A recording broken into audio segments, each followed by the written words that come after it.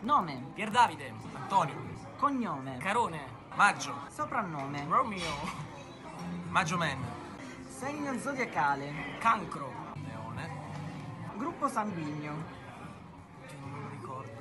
Qualcuno. Madonna, non lo so, posso morire dissanguato, non lo so. A chi è venuta l'idea di questo tour? Ad Antonio, ovviamente, io non volevo. Vabbè, Un aggettivo per descriverti? Eh, non volente. disordinato, anche nelle idee. Un aggettivo per descrivere il tuo collega? volente. Casalingo, Qual è il segreto per comporre una buona canzone? Ah, il segreto per comporre una buona canzone è, eh, insomma, parlare di ciò che si sa, credo, senza andare oltre. l'input. L'input di una canzone può venire in qualsiasi momento, è fondamentale, poi si sviluppa tutto attorno. Aver partecipato ad un talent ti ha più dato o tolto? No, alla fine credo che mi abbia dato. Nel mio caso non mi ha né dato né tolto perché Antonio Maggio è una cosa, gli Aram Quartet erano un'altra. Sanremo ha rappresentato per te più un arrivo o una partenza? Eh, in questo momento potrebbe sembrare un arrivo, però in realtà siamo pronti alla ripartenza, quindi ai posti di larga sentenza. Una partenza bellissima. Quale tua canzone ti descrive di più? La canzone che mi descrive di più, eh, forse è un clown che piange. Nell'etere.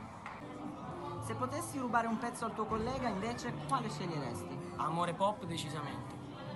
Nani, L'incontro più importante della tua carriera? Lucio Dalla.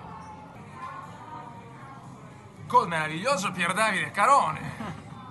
Chi dei due è più intonato?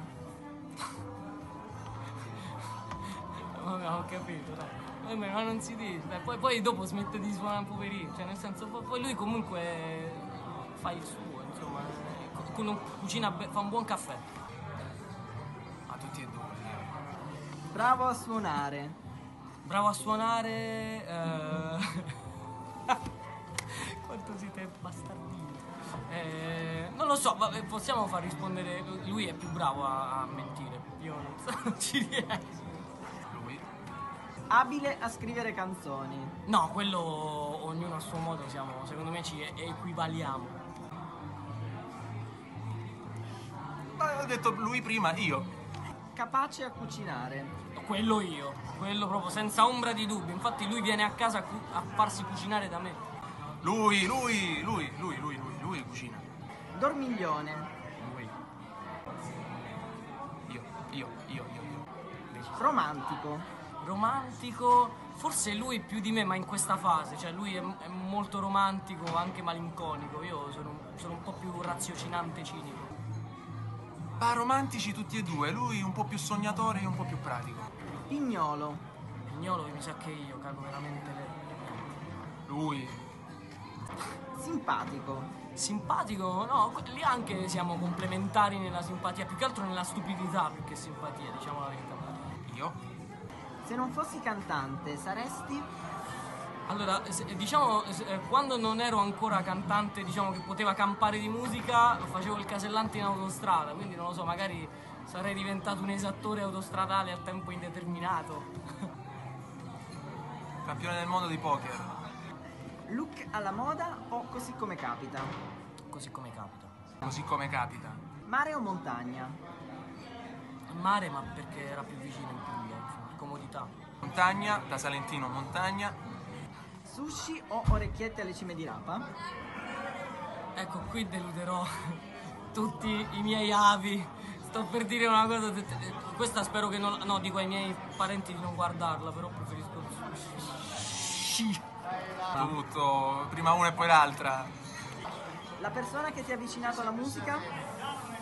Eh, mio padre, mia madre. I miei genitori a un festival in una chiesa, in una parrocchia. Cantavo la mia storia tra le righe, Gianluca Grignani, 8 anni. L'artista che hai stalkerizzato di più da quando, quando eri giovane? Eh, no, in realtà io avrei voluto stalkerizzare Paul McCartney, ma eh, non mi mandavano, i miei genitori era troppo lontano lo stretto della manica superarlo. Stalkerizzato nessuno, diciamo che mi sono autostalkerizzato ascoltando Lucio Dalla. Dimmi una cosa che non hai mai detto in pubblico. Una cosa che non ho mai detto in pubblico... Uh... allora, una cosa che non ho mai detto in pubblico. Ce l'ho, ce l'ho. Tutti mi chiedono qual è la tua canzone preferita e ce ne sono diverse a cui sono affezionato. Adesso vi darò questo scoop, c'è una canzone che proprio detesto delle mie, è un po' ripudiato, però poi la faccio dal vivo perché piace alle persone, mi piace ma non troppo, quella proprio non mi va. Ho un tatuaggio nascosto nelle zone intime. La cosa più bella che porterai con te di questa avventura musicale in coppia?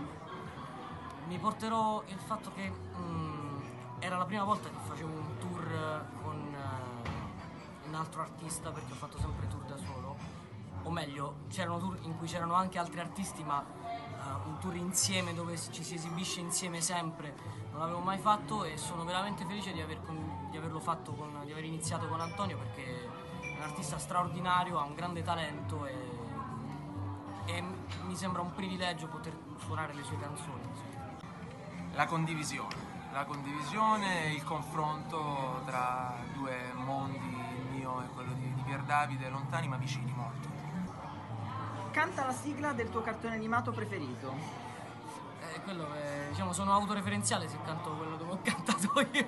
Volerò sulle ali del mondo. Però quella perché me la ricordo, non perché sono, diciamo, ego riferito. Sono i cavalieri dello zodiaco, hanno nomi importanti, sono grandi forti eroi. Pier Davide Carone e Antonio Maggio, le vostre strade artistiche si rincroceranno? Ma eh, intanto vediamo di far durare questo, di darci del tour quanto più possibile adesso. Poi vedremo. Secondo me sì, secondo me quando c'è empatia le cose si protraggono. Io credo che non si divideranno più che, non- che si rincroceranno.